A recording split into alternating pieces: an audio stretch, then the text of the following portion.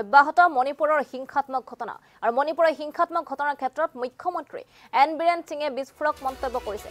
হিংসাত্মক ঘটনাৰ আঁৰত বিদেশী শক্তি জড়িত হৈ আছে। কোনো আন্তৰ্জাতিক সংগঠনৰ ভূমিকা থাকিব পাৰে নেকি বুলি সাংবাদিকৰ প্ৰশ্নৰ উত্তৰত এন বীৰেন সিঙে এক বিস্ফোৰক মন্তব্য কৰিছে। মণিপুৰ ম্যানমাৰৰ চুবুৰীয়া দেশ ওচৰতে চীন আছে।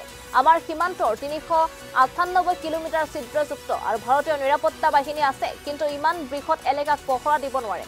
কিন্তু যি হৈ আছে তাক চাই আমি অস্বীকাৰ কৰিব নোৱাৰো বা তীব্ৰভাৱে দৃঢ়তাৰে ক'ব নোৱাৰো। আৰু মণিপুৰৰ ঘটনাক পূৰ্ব পৰিকল্পিত আখ্যা দিলে মণিপুৰৰ মুখ্যমন্ত্ৰী এন বীৰেন সিঙে।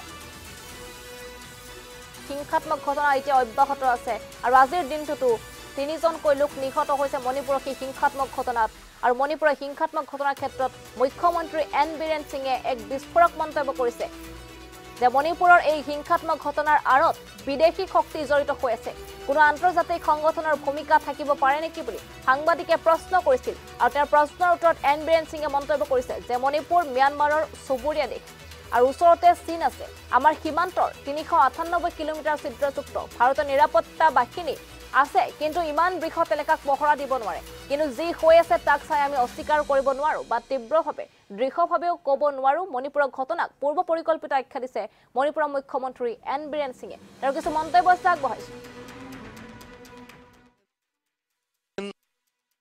देखो ऑफहैंड हम नहीं बोल सकते ये है करके लेकिन देखिए मणिपुर जो है नाइबरिंग विद म्यांमार और म्यांमार के साथ साथ चाइना रह गया। तो अपने बॉर्डर जो है अराउंड 398 किलोमीटर्स ये पोरस है अनगार्डेड है। तो इसमें क्या क्या हो रहा है? अपने इंडियन सिक्योरिटी फोर्स है। लेकिन इतना बड़ा, इतना लंबा चौड़ा सबको तो कवर नहीं कर सकता।